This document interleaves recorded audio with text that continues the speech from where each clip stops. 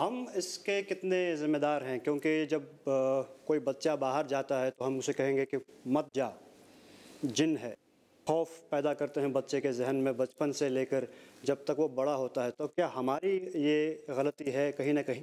یہاں پر سب سے پہلے تو بات یہ ہے کہ بچے کو یہ تصور دیا جائے کہ ہمیشہ کہ تم اشرف المخلوقات کا حصہ اللہ یہ جن اور یہ شیطان کتنا بھی تم کو ڈرائیں گے، لیکن اللہ نے ان مخلوقات پر تم کو ایک اپر ہینڈ دیا ہے۔ تمہاری ایک عزت ہے، تمہارا ایک مقام ہے۔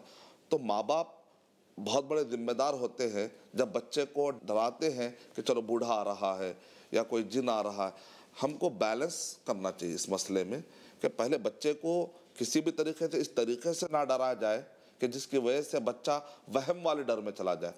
ہاں جن سے پریکاشن لیا جا سکتا ہے، کیونکہ جن شرارتی ہوتے ہیں، کیونکہ ان کی سرشت، ان کی جو تخلیق ہے، وہ آگ سے اور آگ کے اندر ایک قسم کا ضرر پایا جاتا ہے۔